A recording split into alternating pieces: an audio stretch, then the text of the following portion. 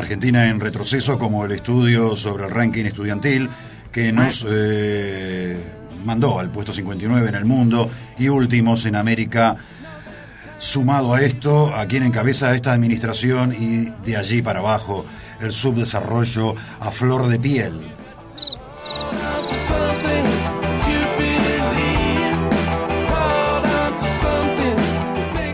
Está garantizada en esta década. Algo se huele en el ambiente, hay falta de gobernabilidad.